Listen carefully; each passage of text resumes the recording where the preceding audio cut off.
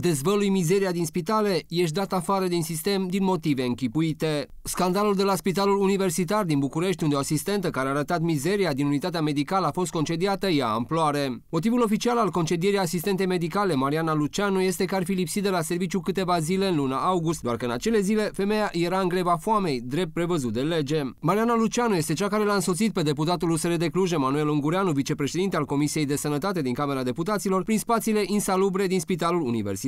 Este improvizat o pungă pe unul dintre pișoare. Vreau să vă arăt mopul cu care se curăță. Bineînțeles că nu există hârtie igienică, asta este defect. Nu există nici suportul pentru hârtie igienică. Nu este capac. Și arată hala, acum aveți o imagine mai bună decât ieri HD. Aici se recondiționau uh, tărgile care apoi ajungeau uh, pe săl și pe care erau puse uh, puși pacienții. Cam așa este mizeria în locul unde se recondiționau aceste tărgi.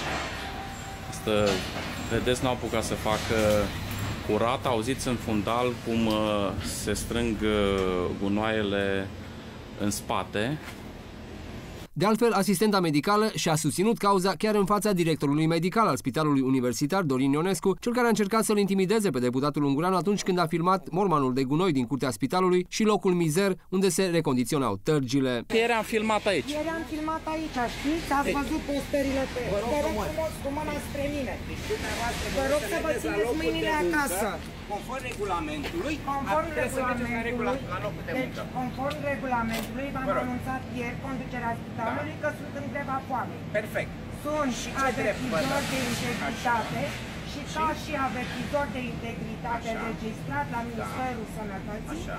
am dreptul, așa cum am menționat de atâtea ori și n-am fost luat în seamă, da.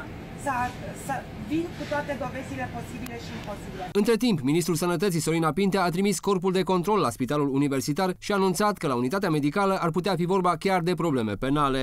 Și raportul final al corpului de control încă nu este finalizat. Despre concedierea asistentei medicale, ministrul Sănătății a spus doar că este o problemă internă a Spitalului Universitar. Deputatul Emanuel Ungureanu a deplâns atitudinea ministrului Sănătății în acest caz. Doamna Pintea, în mod regretabil, nu a manifestat niciun semn de empatie față de un angajat care a rămas fără loc de muncă în urma unui abuz evident. Cert este un singur lucru. Asistenta care s-a sacrificat pentru binele nostru comun a fost abandonată de Ministerul Sănătății și călăii sunt neatinși datorită protecției pe care o au în PSD, partidul care o menține în funcție pe doamna Pintea. Eu nu o voi abandona pe doamna Mariana Luceanu și o voi ajuta să câștige bătălia cu mafia din Spitalul Universitar de Urgență București. A scris astăzi deputatul Emanuel Ungureanu pe rețeaua de socializare.